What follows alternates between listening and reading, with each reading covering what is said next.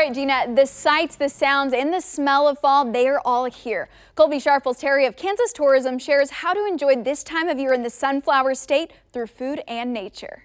So, Colby, what are some foodie trends happening right now in the metro? Visit Kansas City, Kansas just put out a new taco trail. There's almost 50 restaurants on it. It's a neat little pass. It's delivered via email and text.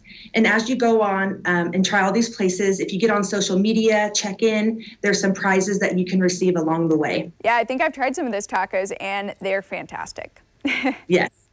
Okay, and do you have any suggestions for those of us who may have a sweet tooth? So we're all about international bakeries right now in the metro. There's Timbuk2 in Leavenworth, and it serves up French and West African treats. Oh. And then there's also Bonito Michoacan, which is in Kansas City, Kansas, which is like a traditional Mexican bakery. And then there's also Tous les Jours, which is a French Asian bakery in Overland Park. I believe those are must tries, must haves. Okay, let's also look at this, Colby. You know, many people, they want to get active maybe this time of year after Thanksgiving and all the eating that can go along with that. What do you recommend viewers do?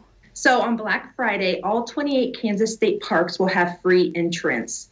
So uh, close to the metro would be Clinton and Lawrence, and then there's Perry, which is in uh, Meriden. And if you go check in, use the hashtag MyKSStateParks and hashtag opt outside, and you can get a chance to enter into a free cabin stay drawing at one of the state parks. And for more information, just go to travelks.com and don't forget to use that hashtag to the stars KS when you're traveling and post about it on social media.